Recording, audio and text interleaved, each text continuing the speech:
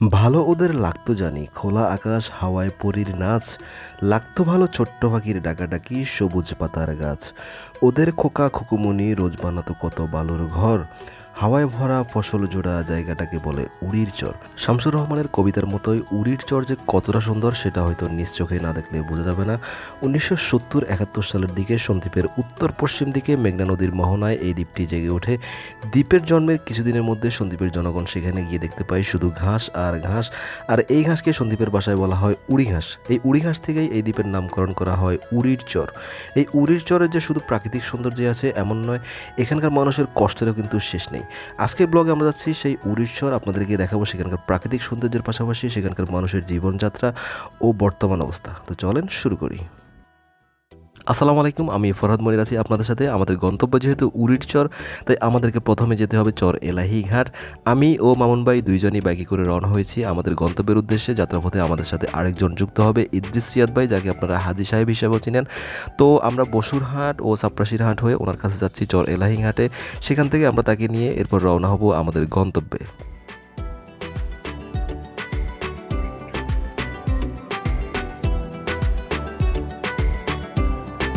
যেতে যেতে রাস্তার দুই পাশের প্রাকৃতিক সৌন্দর্য আমাদের অনেক বেশি মুগ্ধ করতেছিল।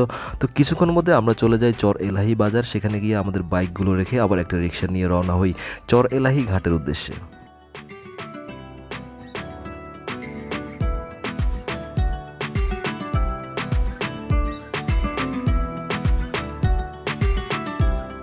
ভাই, আপনি যেভাবে বসছেন এখানে পড়ে গেলে তো শেষ। না। এগুলা কন্টিনিউ ভাঙতেছে এভাবে? সবসময় ভাঙতেছে এটা? আগে কতটুকু ছিল এদিকে? অনেক দূরে ছিল। ভাঙতে ভাঙতে এদিকে চলে আসছে? আচ্ছা আচ্ছা। কিসের দিয়ে আসছে? মা এগুলো দাম ধান আসছে না?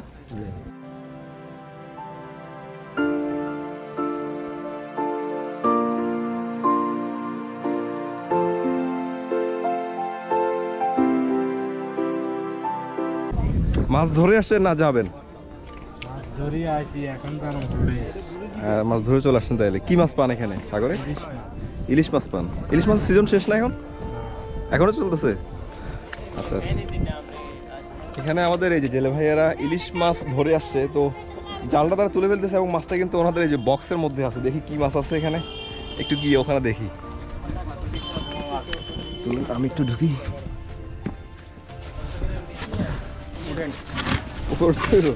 আচ্ছা না লাগবো না। আহ, সব ইলিশ মাছ না? এগুলা ইলিশ মাছ এখানে পোয়া মাছ আছে।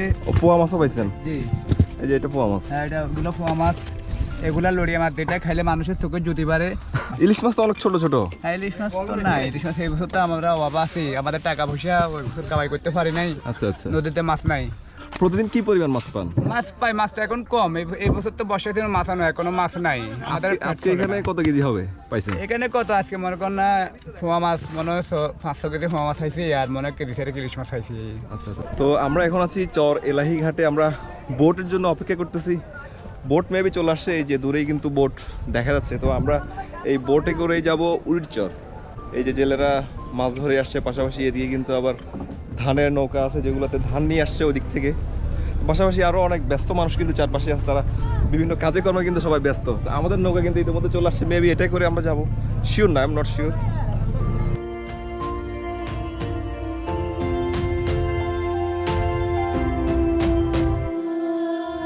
কি পরিমাণ মানুষ আসছে দেখেন প্রচুর পরিমাণে মানুষ একটা ট্রলার মধ্যে অসংখ্য মানুষ কয়েকশো মানুষ। বুড়িচর থেকে আসছেন। কোথায় যাবেন। কি কাজে গেছেন ওখানে? নাকি ওখানে বাড়ি? কৃষিকাজ কৃষি কাজে গেছেন? বাড়ি কোথায়? বাড়ি তো সুবিধা স্যার। হুজুর কি যাবেন না আসছেন? আসছেন? কোথেকে আসছেন? থেকে কোথায় যাবেন? মাদ্রাসায় বাড়ি কোথায় আপনার? বাড়ি হাতিয়াতে।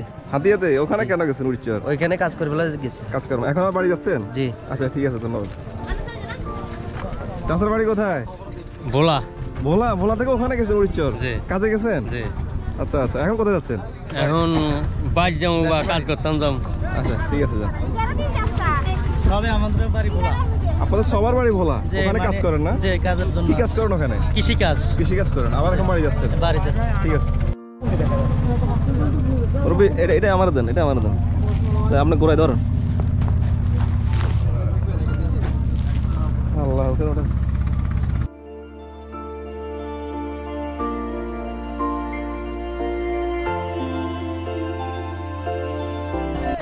আমরা এখন এই যে ট্রলারের উপর উঠে গেছি। যাওয়ার জন্য আমরা পারি।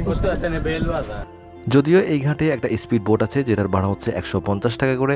তো আমরা স্পিড বোটে না উঠে আমরা এই ট্রলার উঠছি আস্তে ধীরে যাব প্রাকৃতিক সৌন্দর্য উপভোগ করতে করতে যাব উডির চর।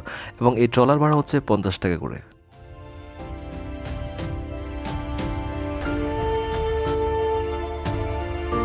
সবচেয়ে দুঃখজনক একটা ব্যাপার হচ্ছে আমরা চর এলাহি ঘাট থেকে যতটুকুই যাচ্ছিলাম, ততটুকুতেই আমরা কোনো প্রতিরক্ষা বাঁধ দেখতে পাই নাই, যার কারণে পুরো এলাকাটাই ভেঙে আস্তে আস্তে এই নদীতে বিলীন হয়ে যাচ্ছে। অতি দ্রুত যদি কোনো ব্যবস্থা না নেওয়া হয়, তাহলে কত শত মানুষের ঘরবাড়ি যে এই নদীতে বিলীন হবে, সেটা একমাত্র আল্লাহ মাহমুদি ভালো জানে। তো যাই হোক, আমরা যেতে যেতে প্রাকৃতিক সৌন্দর্য খুবই ভালোভাবে উপভোগ করতেছিলাম, বিশেষ করে নদীতে সূর্যের ঝলমলে আলোটা আমাদের খুবই ভালো লাগতেছিল।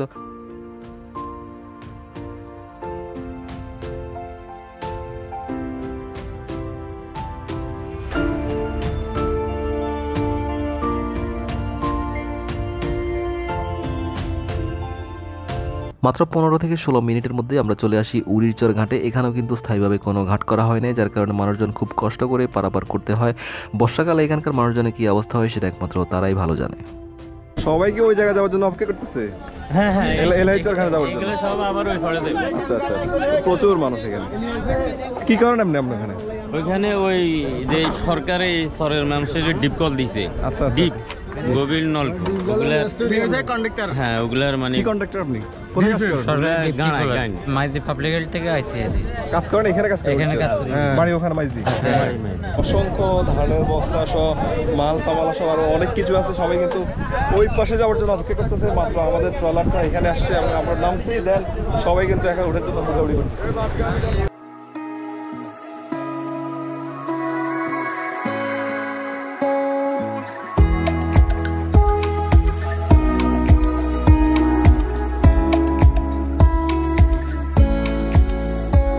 উনিশশো আশি থেকে একাশি সালে তৎকালীন সন্দীপের কৃতি সন্তান কালাপানিয়া ইউনিয়নের চেয়ারম্যান মরহুম আসাদুল হক সাহেব সন্দীপের বিভিন্ন এলাকার ভূমিহীন মানুষদেরকে এনে এই উড়িচরে বসতি করে দেন এবং তখন থেকে এই উড়িচরে মানুষের বসবাস শুরু হয়। উনিশশো পঁচাশি সালের বন্যা, উনিশশো একানব্বই সালের ঘূর্ণিঝড়, দুই হাজার সাত সালের সিডর ও দুই হাজার নয় সালের আয়লার মতো বড় বড় প্রাকৃতিক দুর্যোগের মোকাবেলা করেছে এই উড়িচরের বাসিন্দারা। আমরা জানি যে উড়িচরটা আসলে অনেক বেশি সুন্দর। চারপাশে সবুজ ঘাস, প্রাকৃতিক পরিবেশ সব কিছু মিলিয়ে কিন্তু অসাধারণ একটা পরিবেশ। কিন্তু আরেকটা কষ্টের বিষয় আছে, সেটা হচ্ছে এই যে, দেখেন, কীভাবে চারপাশে ভাঙতেছে, ভাঙতে ভাঙতে সব কিন্তু এই নদীতে কিন্তু বিলীন হয়ে যাচ্ছে। যতটুকুই চোখ যাচ্ছে ততটুকু কিন্তু ভাঙতেছে। ভাঙতে ভাঙতে আমি অলরেডি কিন্তু একেবারে ফাটলের উপর দাঁড়িয়ে আছি, যেটা আমি সামনে থেকে দেখাচ্ছি আপনাদেরকে, এই যে। এদিকে কিন্তু দেখেন ফাটল বড় বড় ফাটলগুলো যাচ্ছে। কিছুদিনের মধ্যে হয়তো এগুলো একেবারে সব বিলীন হয়ে যাবে এই নদীর মধ্যে। আপনারা কি এখানে রেগুলার রাইড করেন? জি কোথায় কোথায় জানেন কোথায় কোথায় নিয়ে যান পুরো উড়িচ্ছরে পুরা উড়িষ্যা। তো কোথায় কত রেট এখান থেকে এখান থেকে কলোনি বাজার চাইলে তিনশো টাকা। তিনশো টাকা। হাজারি মার্কেট চাইলে সাড়ে তিনশো টাকা। সাড়ে তিনশো টাকা। কতদিন ধরে এখানে এই যে বাইকটা চালান আপনারা? আমি অল্প কয়েকদিন আমি কত অল্প কয়দিন হয়েছে? আর ভাইয়ের কতদিন হয়েছে এখানে? আমি ছয় বছর। ছয় বছর তাহলে অনেক অভিজ্ঞতা আপনার।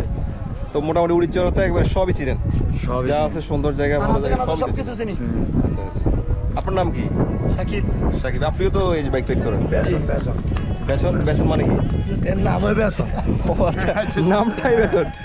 আর মধ্যে নামে আছে বেসন। সাকিব কোনো নাম নাই। নামটা এই ধরনের নাম ভাই আমি কিন্তু জীবন বেসন।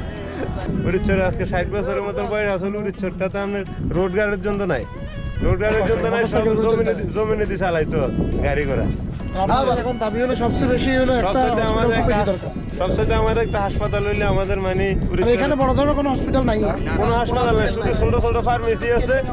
ওটা তো ফার্মেসি ছোট ছোট ফার্মেসি আছে এটা তো সব জায়গায় আছে। কোনো।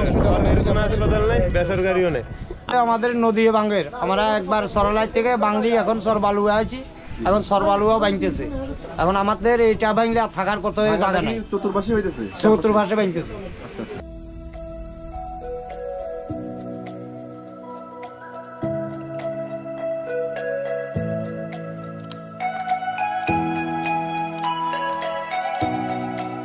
ঘাট থেকে আটশো টাকা করে আমরা দুইটা মোটর বাইক রিজার্ভ করি পুরা উড়ির চর ঘুরে দেখার জন্য।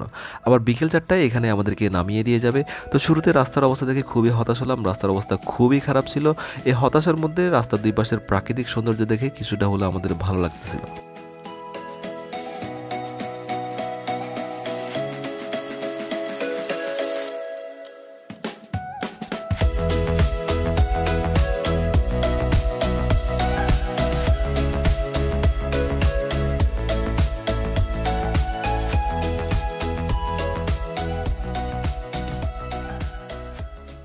উড়িরচরের মূল একটা পেশা হচ্ছে কৃষিকাজ এবং কৃষিকাজের মধ্যে হচ্ছে ধান করা এবং এই চারপাশে দেখতে পাচ্ছেন আপনারা কিন্তু অসংখ্য ধান ক্ষেত।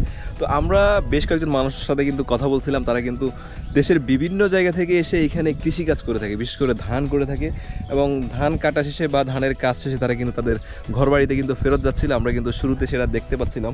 তো এখানে আমরা কিন্তু দেখতে পাচ্ছি যে অসংখ্য কৃষক কিন্তু ধান কাটতেছে, এই যে ধান ক্ষেতের মধ্যে এবং ধানের স্তূপ করা, এই যে আমরা ড্রোন শটের মাধ্যমে আপনাদেরকে দেখাবো এই যে বিশাল ধান ক্ষেতগুলো, পাশাপাশি এই চারপাশের সৌন্দর্যগুলো।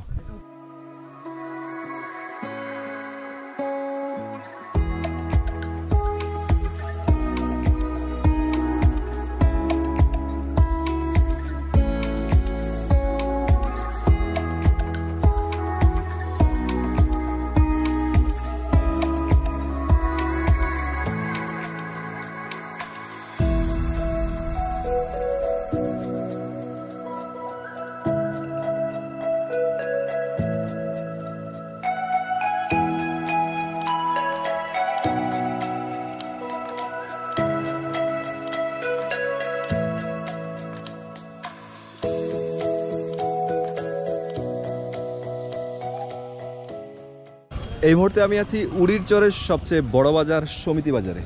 আমি বাজারের ঠিক মাঝখানে দাঁড়িয়ে আছি যদিও দোকানপাট এত বেশি নেই।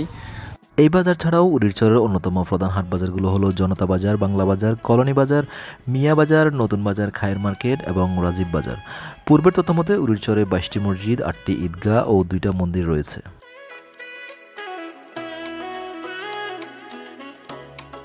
চাষার বাড়ি কি এইখানেই?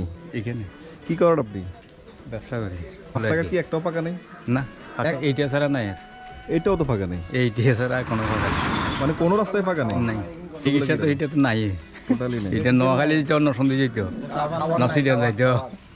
উড়িরচরে সাক্ষরতার হার ছাব্বিশ দশমিক চল্লিশ পার্সেন্ট এখানে একটি মাধ্যমিক বিদ্যালয়, চারটি প্রাথমিক বিদ্যালয়, একটি আনন্দ স্কুল, পাঁচটি ইফতেদায়ী ও দাখিল মাদ্রাসা রয়েছে। এর মধ্যে অন্যতম হচ্ছে উড়িরচর মাধ্যমিক বিদ্যালয়। যদি এখানে একটা কলেজ থাকতো, তাহলে সবার জন্য অনেক অনেক বেশি উপকার হতো। শিক্ষার্থীরা ভালোভাবে শিক্ষা লাভ করতে পারতো।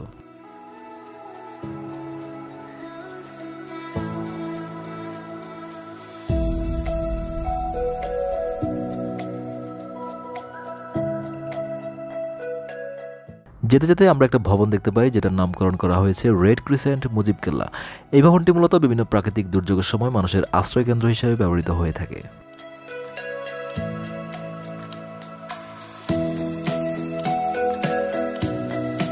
হাজারো সমস্যার মধ্যে এখানে একটা সুখবর হচ্ছে, শতভাগ বিদ্যুতায়ন করা হয়েছে, যার কারণে মোটামুটি সবাই বিদ্যুতের সুবিধাটা উপভোগ করতে পারতেছে। আমরা যতটুকু জানি যে উড়িরচর বর্তমানে দুইটা ভাগে ভাগ হয়ে গেছে। একটা অংশ হচ্ছে নোয়াখালীর মধ্যে পড়ছে এবং আরেকটা অংশ হচ্ছে সন্দ্বীপের মধ্যে। তো আমরা কিন্তু এই মুহূর্তে সন্দ্বীপের অংশে আছি, এই যে।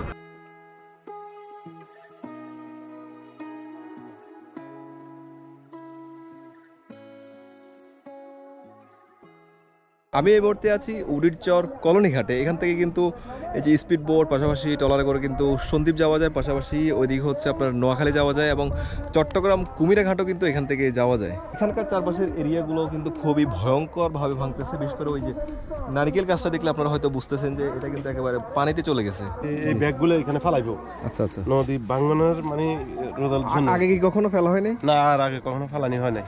আচ্ছা আচ্ছা। এই প্রথম ও আমি এখানে আসার পর দেখতেছি যে প্রথমবার মতো ব্যাগের ভিতর ভালো করে নাকি নদীতে ফেলা হবে ভাঙনটা বন্ধ করার জন্য। তো যাই হোক আমি মনে করি এটা কিন্তু একটা খুবই ভালো উদ্যোগ হচ্ছে। তো এটা আরও ব্যাপকভাবে এটা করা উচিত যাতে চারপাশে ভাঙাটা বন্ধ হয়। এই যে ঘূর্ণিঝড় বা ঝড়ের প্রভাব কিন্তু অনেক বেশি পড়ে। হ্যাঁ বেশি তখন আপনাদের কি অবস্থা হয় এখানে? তখন আমাদের অনেক দূর অবস্থা আচ্ছা আপনার এখানে চাকরি সেন্টার আছে মাত্র কয়েকটা। আর অনেক দূরে দূরে। আবার কিছু আপনার ওই মজিব কিল্লে আছে যেটা সরকারে দিছে ওখানে।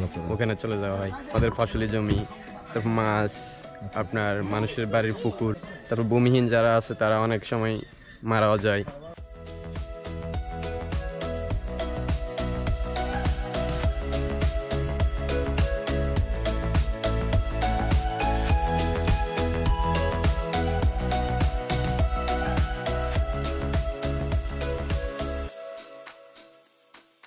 উড়িরচরে ভালো মানের কোনো খাওয়া দাওয়ার হোটেল নেই। আমরা দুপুরে খাওয়ার জন্য একটা হোটেল ঢুকেছিলাম, সেখানে ডিম ও সবজি দিয়ে খাওয়া দাওয়া করেছিলাম। কোনোটাতে লবণ বেশি, কোনোটাতে মরিচ বেশি। এরকম অবস্থা, তো খাওয়া দাওয়ার মান খুবই বাজে ছিল, কিন্তু খরচও পড়ছে অনেক বেশি, জনপ্রতি একশো টাকা করে। তো এরপর আমরা তাড়াতাড়ি করে বের হয়ে যাই আর একটা সুন্দর প্লেস দেখার জন্য।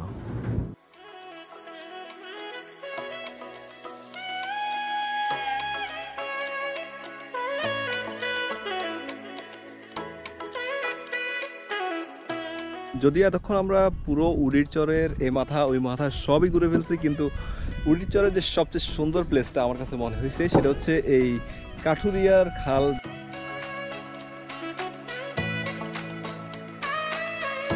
অনেকক্ষণ ঘোরাঘুরির পর আমরা এখন ঘাটে চলে আসছি, কিন্তু ট্রলার আসতে অনেক লেট করতেছিল। এইদিকে কিন্তু প্রচুর মানুষজন জড়ো হয়ে গেছে ওই পারে যাওয়ার জন্য। একটা লোক মাছ নিয়ে আসছিল, মাছগুলো একেবারে তরতাজা মাছ লাপাচ্ছিল এই মাছগুলো তিনি এখানে বিক্রি করবেন না, অনেক দাম পাওয়ার জন্য সাবপ্রাসিনার গিয়ে বিক্রি করবেন। তো একটা স্পিড বোট আসতেছিল, সেখানে কিন্তু বেশ কিছু বরজাতীয় ছিল, তারা গান বাজনা বাজিয়ে কিন্তু আবার সেই উডিচর দিকে যাচ্ছিল।